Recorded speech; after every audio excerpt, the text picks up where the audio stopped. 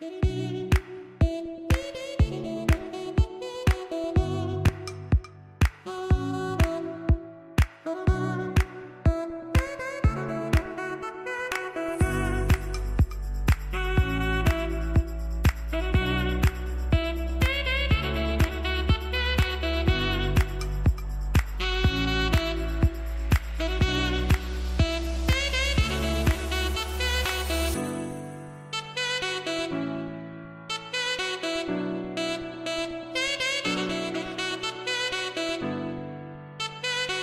back. Take it back. Take it back. Take it back.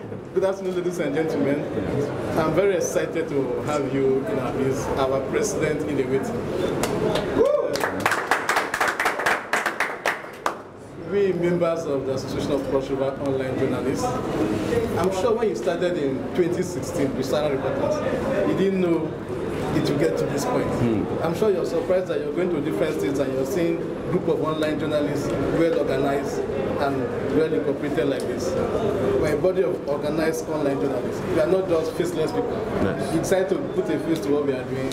And here in Cross River State, we have been changing the Cross River State narrative. We are excited to have you here and you inspire us a lot. What you're doing with Sahara Reporters is an inspiration to what we are doing here in Cross River State. I want you. to say thank you. Welcome to Cross River State. Thank you. Thank you. We have some questions we wanted to ask. People have been wanting to ask you about how you run Sahara Reporters. They hear that you are not collecting money. You don't collect advice from government. People say you are collecting money from politicians and you say you don't collect money. Some say the Sahara Reporters has been run with grants. There are so many people here who, want, who have interest in blogging. Since uh, Cross River Watch started, everybody in Cross River State, every young person wants to blog. But what is lacking is the patience to grow The product. Yes. for most people, they think that once you start a blog, you just start making money. Yes. And so having you here is an opportunity for us to have you share that experience with us. Yes. And as many young journalists that are here, so that we can have that experience moving forward. I'm sure that it's going to help us in Cross River State. And, Thank you. uh, We'd like to listen to you, sir. Yes, uh, thank you very much for having me here at your headquarters and uh, thank you for doing what you do. Thank you for taking uh, the dream that I had some 12 years ago to the next level. Uh, it was because of Sahara Reporters that I'm able to sit in front of you today to think about taking Nigeria to the next level. Uh, because when Sahara Reporters started, it started with a laptop. And when this idea of running for presidency started, it started with probably a laptop too. well, not a laptop, but maybe a mobile phone, you know. Uh, and the reason I said it was a mobile phone was that it actually started with a poster that was designed by a young person, which was then sent by WhatsApp. And before I knew it, it was all over the world, you know, almost instantaneously. And um, what we were doing in Sahara Reporters in those days was something that nobody thought would succeed. In fact, they used to make fun of me for two reasons. They said I was never trained as a journalist, and as a result could not make it as a journalist. And that secondly, that internet was never going to be in Nigeria to the extent that it will make an impact to take over from the traditional mainstream media. But I told them that there's a difference between mainstream media and main street media. And the same way, this is the same way we are doing it with politics today.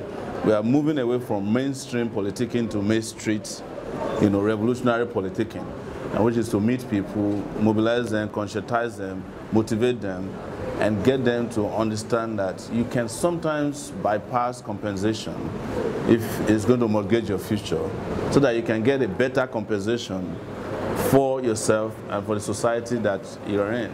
Uh, like I said, nobody could believe that anybody could set up a clean media platform, a brand that will become a global competitor without being corrupt because every other person who was doing it before me had been compromised. And some people who started after me had been compromised. I say it with due respect. Some of the guys who used to steal Sahara Reporters content, they have mansions in this country today. That's how they started. But I don't have anything, but I have so much that I can be proud to be in front of you. Not many of them have a name anymore. Some of them have to shut down their websites because they compromise themselves. So I want to make this as interactive as possible. Uh, you have to understand that I'm no longer going to be working with Sahara reporters. I'm looking for a new job next year. and uh, it's a natural progression for someone like me who's worked for close to 30 years to create an enabling environment where we can de democratize information. That was after we democratized governance. But he was very quick to do what the others were doing, stealing. You know, they started stealing Nigeria resources. I stand against any form of corruption. And I stood firmly against Jonathan stealing. When he started, people said Sahara Reporters was lying. But eventually, everything became well known. Every expose we did on Jonathan is now in court. How we expose Mrs. Uh, Desiani, Kola Aloko, Jide Omokore, Stella Odua when she bought the uh, BMW, and the scam she was doing building airports. You can see that the airport here, the windows are blown, the roofs are blown. These are work that we did consistently that exposed and made Nigerians understand that they cannot continue with Jonathan. So what happened at that time was that most Nigerians decided that Jonathan was such a bad job, they would accept someone else. So, but this is what is most important through that process, we did something that was unthinkable and unheard of. We were able to use the platform to report election results on the same day of election, 10 states. It has never happened before in the history of this country. We used to wait for INEC. Sahara reporters reported 10 states. When INEC released their first 10 it tallied exactly with, almost exactly with what Sahara reporters reported. Because of that, yes, because of that, we were able to have a party-to-party -party transition in the history of Nigeria. The reason why you saw Minister Orubebe did what he did was because of that report we were doing. So we, we, must, we must thank ourselves, not me alone, for making it possible to keep the democracy going. Let me tell you, if that election had been rigged, you would not have Nigeria today. And if we hadn't reported the election the way it was reported, they would have rigged it. And we'll probably be at war now. Seriously. Because the winner was, would have been different from the person who won. So that's, that's where we are. Where we are is we must continue to appreciate ourselves. We must continue to appreciate our uprightness and appreciate that we can stand where it is difficult to do so. Most of you don't know where I come from, right? You just say Ashore. I'm actually supposed to be closer than, to Jonathan than any one of you. But I don't have any ethnic fiber in my body. I do what my conscience tells me is right. And even Jonathan today must look back and say, if I did it differently, the country would have voted for him I would have been able to retire the old people. We didn't need Buhari to come back when he came back. But Jonathan and Jonathan alone is responsible for bringing Buhari to power. Do we not regret that Buhari has come to power? Yes, and that's why we are fixing it. Maybe we should also be thankful that Buhari came to power because otherwise we would have been salivating over him. Uh, maybe if he came out, life would have been better. Now, it has made it clear to us that we don't need a PhD holder and a NEPA certificate holder. We need a Nigerian who has capacity. Right? So, and what has this done for us is putting us, putting us in the right direction for the first time for young people to actually be in control of their destiny. You don't have to stand up. You can sit and talk. Thank you very much. Welcome to Calabar. Thank you. It's my first time to meet with you and to know you. My name is Franketima. I report from Bakassi in Cross River Watch. Yes.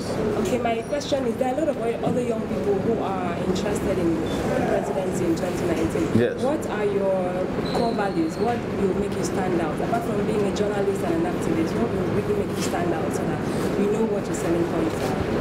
My selling points are things that you already know. I have pedigree, I have integrity, I have capacity, intellect. I'm exposed, widely traveled. I am very stubborn and uncompromising. You know, I am not afraid of anybody. Take it back! Take it back. So, and you have documented history of all of this. If you want to go to war, who would you trust? A general who has a history of fighting and winning wars. I've won against the military when it was difficult in this country to fight against military rule. I did. I say it without missing words that most of the people who are in position of authority today in Nigeria, when we were fighting the military, they were hiding under their beds. Right? I'm a witness. Yes. So now it's time for us to take our rightful place. Other young people are running. I love it. I'm happy that they have realized that young people can aspire to political office. I am not particularly young because by the definition of the United Nations, I mean the United Nations definition of the youth, I won't fall it, but you know, I'm very youthful and energetic, you know, uh, as you can see by way of my haircut. Uh, so, yeah. But the hair is the most important thing. We must not make the mistake of voting for somebody because it's a youth. It has to be a young person that has all the qualities that you are looking for. You have a right to interview us. So, for example, it's not enough to be young and say you are running and you don't go out and canvass. I don't know if you've seen a lot of young people who are running, but I have been everywhere in the country. Most of them have not left Lagos. Most of them have not left Abuja.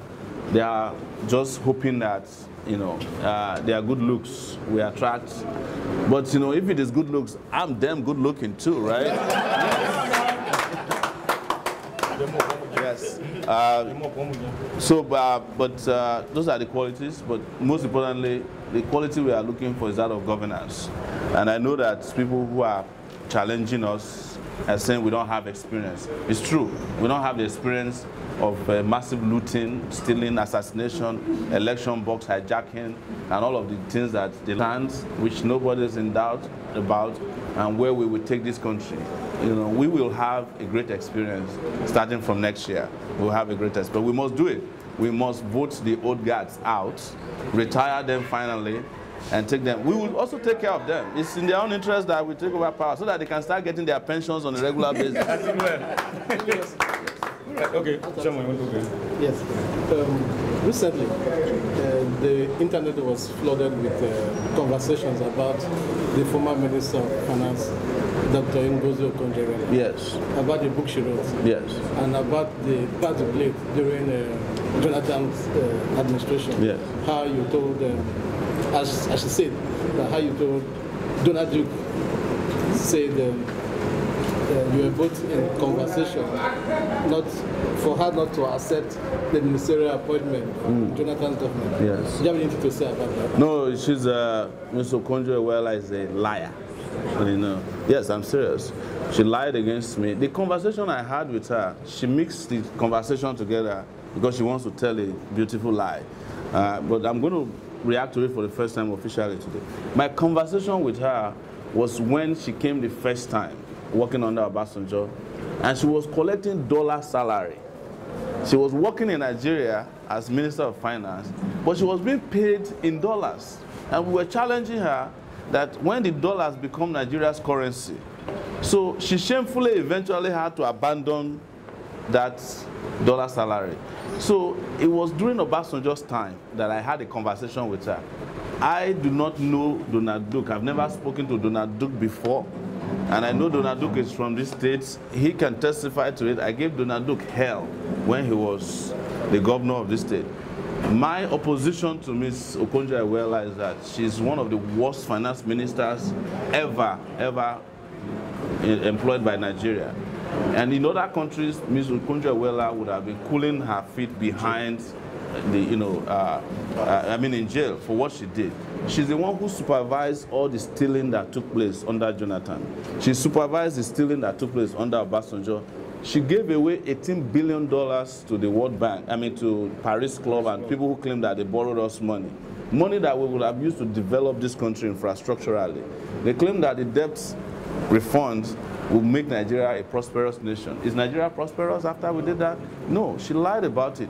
You see, Nigeria has a problem. We keep rewarding people who are incompetent, people who are mediocre, people who are, uh, who are thieves. She is a friend of the thieves. She protected the thieves. It was under her watch that all these scandals took place.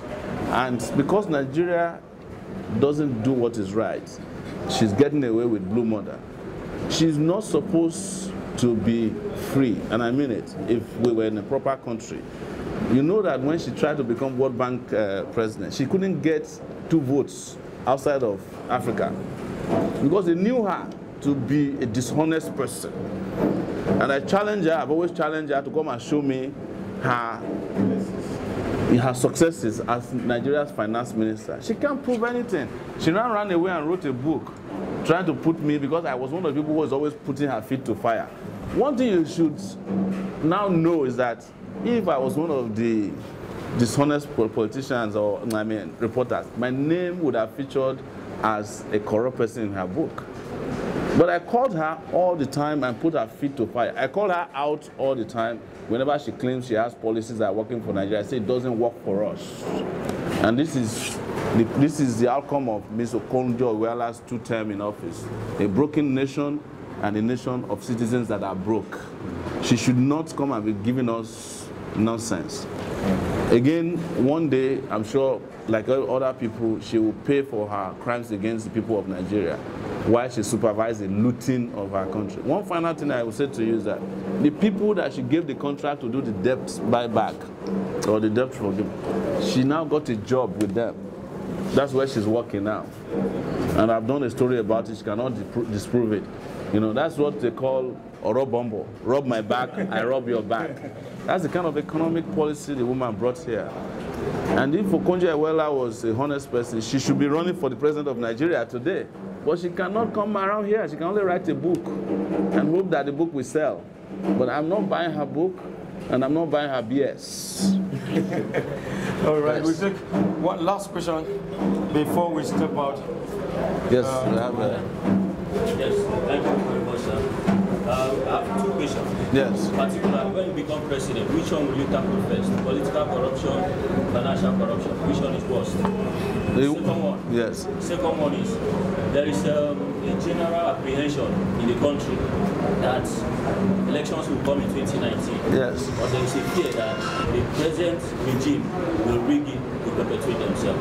If you win and you are rigged out, what will you do? Uh, I will answer from the first question. See, what leads to political corruption is financial corruption first. If we clamp down on financial corruption, political corruption will be reduced to nothing. Uh, people can get away with political corruption because they have what we call war chests, money that don't belong to them that they have control over. And that is why the governors win election after they rig it, but they can ask you, anytime they rig election, you know what they say to you? They say, go to court. Because they already know that the judges are there waiting to play the um, game and the business. So if we finish off the financial corruption thing where we close up all the loopholes and prevent them from the kind of mindless looting that happens under their watch, we would take care of political corruption because political corruption can actually be taken care of by technology these days. The second question you ask is if I'm rigged out, right? What I'll tell you first is let the mass vote. Nobody can. A lot of times money will come your way. But you think about it, you know, so many people who are wealthy in Nigeria are rich, the only thing they have is money. And if the only thing you have is money, you are poorer than a church rat. And the rest of it with blogging is what they call rat race. Bob Marley said something about rat race. You remember I said, if you are in a rat race, when you win, you still remain a rat. But if you are blogging for the good of society, you would have elevated yourself to a global competitor. If you break a news that is happening here in, in uh, Bakassi, which is a global place, it's a global issue, CNN will credit you with it. Because there's a timestamp for breaking news. Nobody can go and steal it and say, I was the first. Twitter will tell who broke the news first. Facebook will tell who broke the news first. So keep pushing, and one day you'll become a globally recognized blogger. That should be your paramount interest. I do not know how to advise people to make money as a blogger. I don't know why people who want to make money want to be a blogger. But I understand because there have been a lot of bloggers who have made money by extorting money from politicians or selling themselves out cheap. What will happen to you is that, let me tell you the way politicians think. Politicians sees a blogger as a threat as long as you are not in bed with them.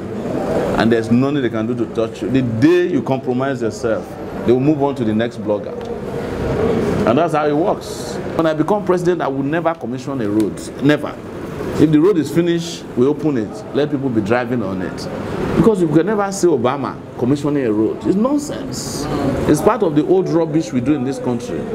Governors will go and commission a road. Senators. One senator commissioned an electric pole in this country. One commissioned borehole.